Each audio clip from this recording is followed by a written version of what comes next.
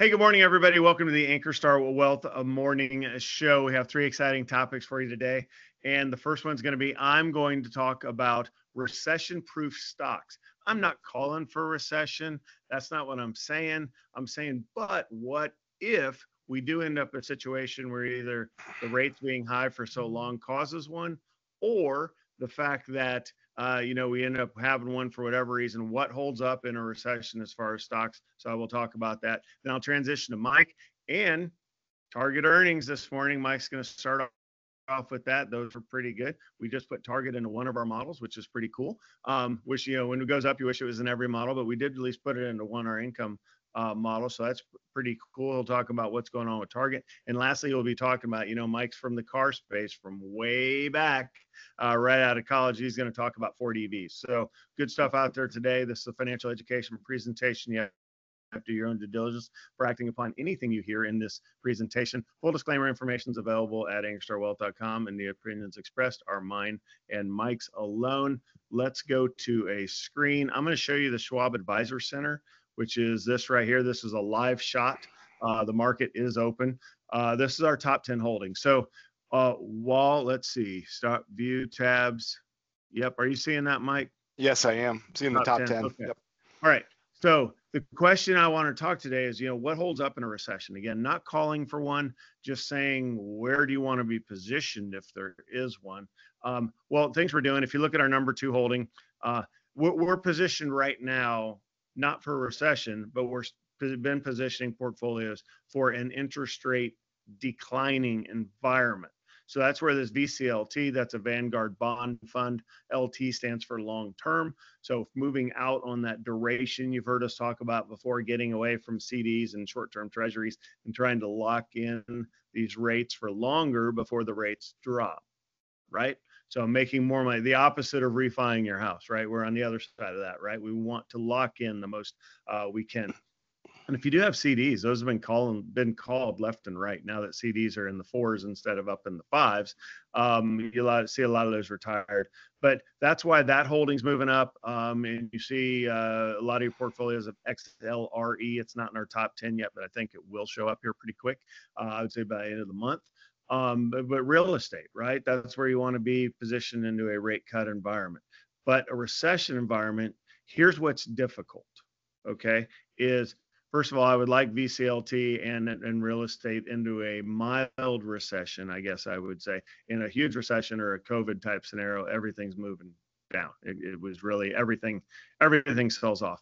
But specifically for stocks, um, it doesn't so the, the question is is kind of no stocks are good. When you think well now wait a second wouldn't you, you wouldn't you have like the uh, you know consumer products right? Because if people still need toothpaste in a uh, recession or Steve, people will still go to walmart in a recession uh, maybe not target because they can't afford to pay 10 cents more per item uh, when they're hurting on money. Um, so when you think of okay if i position my portfolio into stocks that people into companies stocks of companies that people need, then wouldn't my portfolio be recession proof? And this is where, if you've ever heard of the different analogies of theory and reality, in theory, you are 100% correct. But you live in the real world, and so does your portfolio. And here's the problem with any stock in a recession is ETFs, mutual funds, all the other investments that hold baskets of equities that people are selling out of wholesale, say just the SPY. So you have, you know, several companies in the SPY would hold up just fine during recession if they were on their own, but the index sells off because the overall market sells off. And you think in the power of trillions of dollars in these ETFs as a in as a whole uh, as an asset class that starts selling off, forcing selling in the stocks that are within those ETFs and mutual funds, regardless of their exposure to the uh, to the actual recession. And you're like, okay, Steve, Mike, why don't I just hold the individual stock? And then I would say, you're not listening. If you do hold the individual stocks of those companies and you're like, I have, I don't care what the ETF does. Yes, you do because when the ETF sells off, your stock is going down because it's forced selling of that individual stock, even though you hold the individual stock.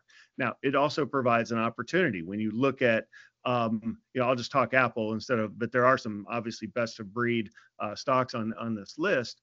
But when you look at Apple specifically, at, when the market sells off, even if the iPhone 16 crushes, you know, all of the numbers out there, Apple will go down.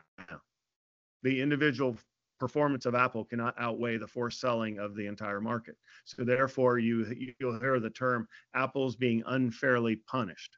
Well, you're if you're an Apple holder, you go, well, that's not good news. And it's like, well, yes, it is because that won't last forever. So if you need to buy more Apple, that's the time to buy more Apple when they get unfairly punished right? Because the snapback, when you've heard me talk about that for our individual client meetings, the snapback in big tech is huge.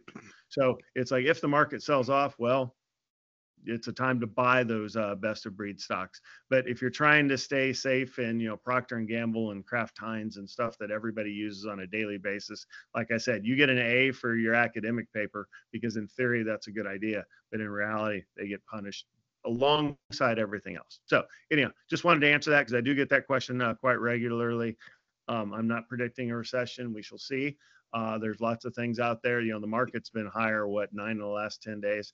Um, so kind of crazy how the market's kind of just b- blowing off uh, a lot of indicators that, that aren't great uh, out there.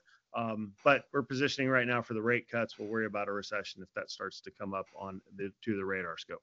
So that's all I have for you today. I'm going to turn you over to Mike now, and let's hear more about Target and those earnings. All right. Well, last week we heard about Walmart lifting, uh, doing well uh, as far as this year, and then predicting a little bit of softness next year. Target pretty much did the same thing beat on revenue, beat on earnings, and has a cautious sales outlook but Target jumped even further than Walmart. Walmart was up six or seven percent. Target is up 14 percent. And you know the the bottom line numbers were right here. Earnings were expected two dollars and eighteen cents. It hit 257, so that's a solid beat. And then revenue is a you know 25.45 billion versus 25.21 billion. So great beat there. So Target fantastic. So and Steve mentioned we're putting Target in some of the models. I want to show you so you're like, so why aren't I in Target? If it went up 14% and Walmart only went up 6%, you know, well, how's Target doing? So I'm going to show you the Target stock. And this is a one year graph of Target stock. And you can kind of see that they had a nice surge back in November of last year, went all the way up, kind of peaked right in April, and then sold off, you know, uh, 40 points, almost 25%. But more importantly, how did they do against Walmart? Because that's that's what I immediately thought, and that's why it shows right up in here. Is let's see what they did against Walmart. Walmart is the blue line, and you can see that Walmart did not uh, have the same surge back in November. In fact, they went down, and it looked for a while like, oh, they're tracking right along the same but Walmart has significantly done better than Target, 43% over a year versus 24%. So that's that's pretty that's pretty big. Um, another thing with Target I wanted to show is um, you know they they said next year it's going to be cautious. And this is where you know steve talked about the recession. We're certainly not forecasting one. I saw one odds where i, think someone lowered it to 20% chance of a recession from 25 so you know there's a there is a chance. Certainly there is.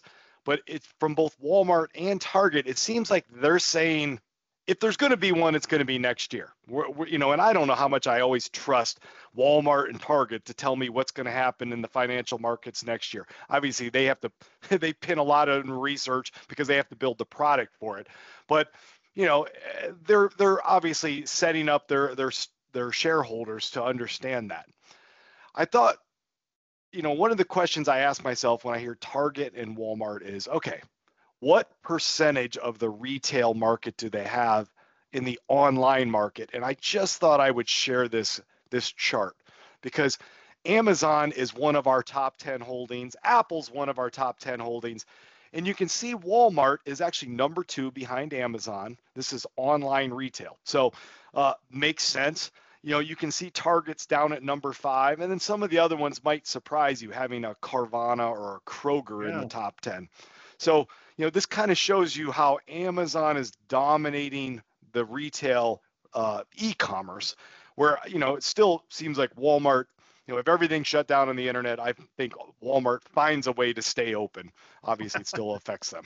Uh, you know, if Walmart ever shuts down, I don't know. We're all going to starve and run out of toilet paper, and you know, I don't even know. You know, so. Uh, you know, I just thought that was an interesting comparison for for what our investments are in.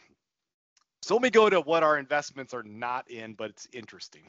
so, and you'll be thankful they're not in. And it's not in Ford. So it's not, Ford is not in our book. And Ford, you know, it just announced they're delaying an EV plant. Guess what? EV sales are down. Um, the, the tricky thing with automotive is, you know, it takes years to get these plants off the ground, build the supply chain, and prepare.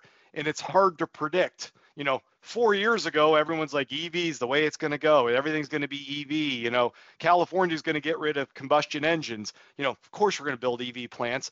And now, combined with lower gas prices, not as low as it's ever been, but lower gas prices, uh, guess what? EV sales are not doing as well. Throw in that we're getting uh, external country competitors putting in cheap EVs, China, you know, and it's not quite as profitable when, when you consider buying a Ford, a big F250 or you know decked out Mustang compared to a you know a cheap EV uh, if you can find those.